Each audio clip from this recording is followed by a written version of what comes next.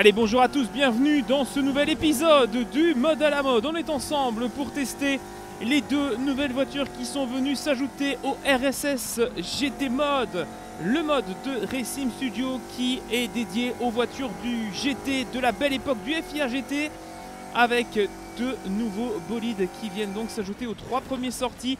La euh, Chrysler Viper GTSR, la Lister Storm Jaguar et la Ferrari 550 Maranello. Ces trois voitures sont donc désormais accompagnées de la première des deux voitures que je teste en ce moment, la Shadow V8 que l'on reconnaîtra évidemment être l'une des Salines S7R, un bolide américain que l'on a vu autour des années 2003-2004 débarquer en FIA GT avec de grosses équipes de l'époque, comme par exemple Conrad Motorsport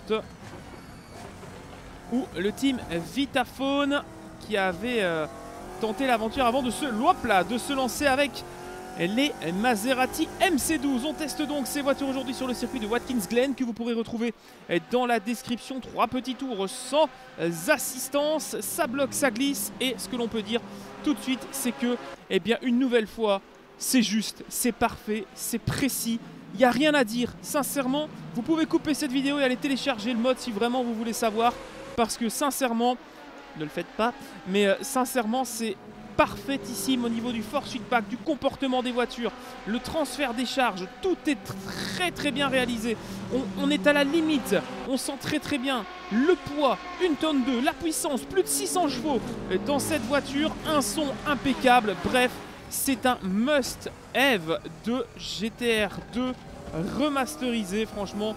Ah, sur Assetto Corsa, on peut retrouver pas mal de, de bolides plutôt mal faits, mais alors ceux-ci sont vraiment très très bien réalisé. Ce n'est pas de la bête et méchante conversion euh, d'autres jeux comme on peut voir parfois. Ici, on a vraiment quelque chose de travaillé, de poussé. L'intérieur est absolument super. Vous allez pouvoir euh, jouir de différentes caméras.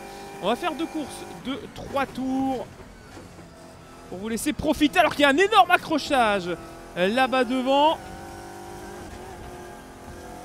avec deux Vipers qui se sont sortis. Bon, ça nous vide un petit peu notre champ de visibilité, mais c'est pas grave. On aurait bien aimé se battre. Eh oui, il y a des abandons, évidemment. Quand on va taper comme ça. Alors cette Saline S7R est vraiment bien différente. On passera ensuite à la, Lamborghini Murcielago que j'ai également hâte de tester. Pour l'instant, vous le savez, ma voiture préférée, c'est cette Lister Storm V12 euh, qui euh, développe euh, vraiment un son sensationnel. Alors je sais qu'on ne va pas manquer de superlatifs dans cette vidéo. C'est pas très explicite pour vous, mais c'est le pied. C'est le pied, c'est juste très très bien réalisé, c'est bien dosé. C'est digne de ce que proposait GTR2 il y a 13-14 ans. Et GTR aussi. En tout cas, là on est sur quelque chose de qualité. Vous entendez crisser les pneus, on peut lancer les voitures, elles glissent vraiment du train arrière comme il le faut. On regrette de ne pas avoir de pluie sur cette euh, plateforme parce que ça pourrait être excellent. On sait que le mode est également disponible sur euh, à l'étude sur Air Factor 2. Ce serait génial de retrouver ces bolides dans des conditions de pluie. On testera évidemment bientôt le mode endurance, endurance hein, qui est sorti hop sur euh, Air Factor 2, on est allé un peu toucher le rail dans le raidillon de ce circuit de Watkins Glen que vous aurez reconnu bien sûr. Même si on a la map de Laguna Seca sur euh, le tableau de bord. Alors une voiture qui vient avec une douzaine de skins qui sont euh, évidemment inspirés de ces voitures de l'époque qui avaient donc euh, parcouru les pistes du FIA GT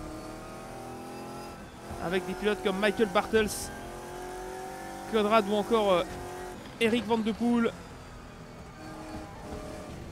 Voiture tout simplement magique à piloter. Pas très simple, on peut se faire piéger, la preuve encore à l'image.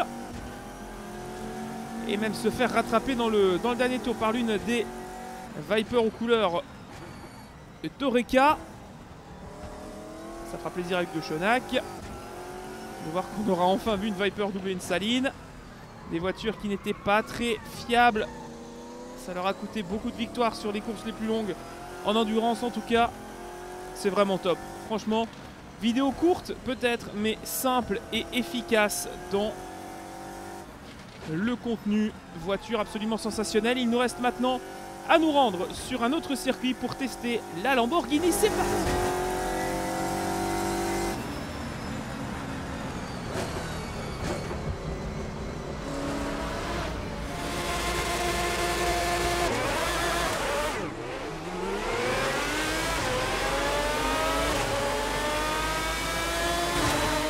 et place à la monstrueuse Lanzo V12, la Lamborghini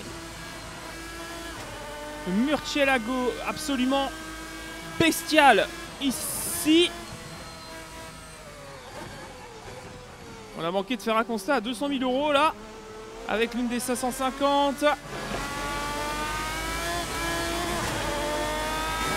C'est pas du tout la même chose. On peut dire vraiment qu'on a des voitures qui ont un comportement bien différent. Et pourtant elles parviennent à évoluer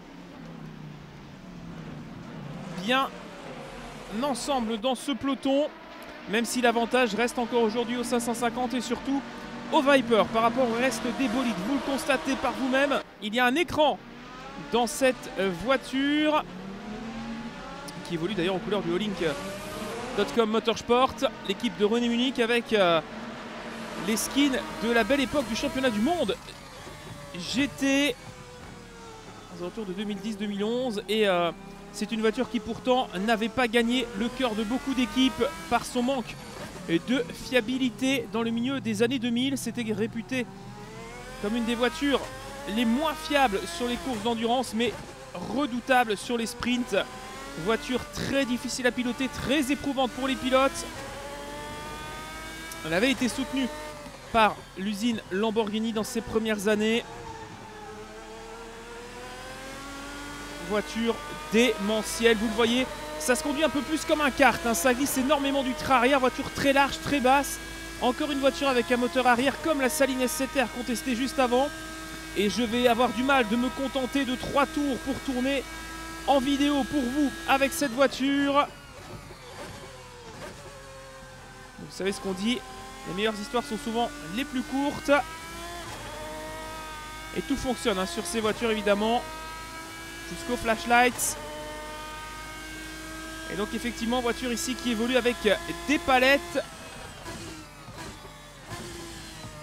Ce qui n'était pas le cas de la Saline plus vieille qui elle évolue encore avec euh, un shifter.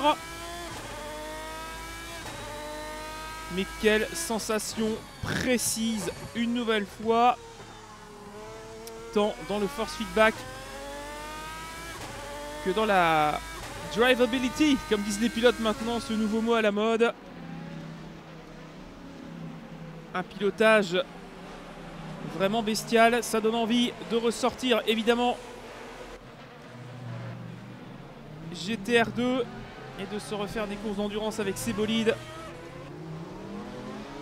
On a hâte que le portage de certaines de ces voitures se fasse sur euh, Assetto Corsa Competizione qui va sortir dans les mois à venir.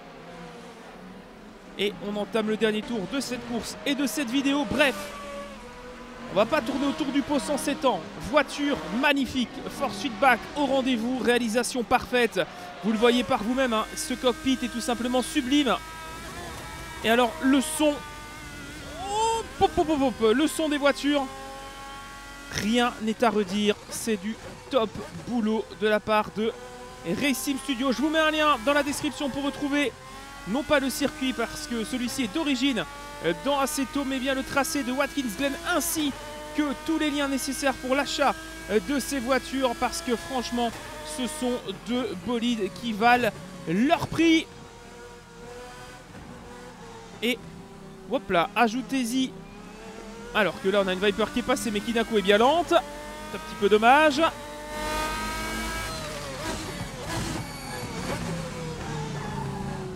Ajoutez-y la MC12 disponible. Ah, s'il savait nous faire un mode GTR2 basé sur ces voitures, ça pourrait être incroyable. Il y a déjà la présence de pas mal de, skins de l'époque du FIA GT disponible sur Race Department. Allez y jeter un coup d'œil. Franchement, sauter sur ces voitures si vous ne les avez pas parce que ça fait partie pour moi peut-être avec euh, le mode euh, V8 Supercar que l'on a testé il y a quelques jours des meilleures voitures disponibles à ce jour sur Assetto Corsa sincèrement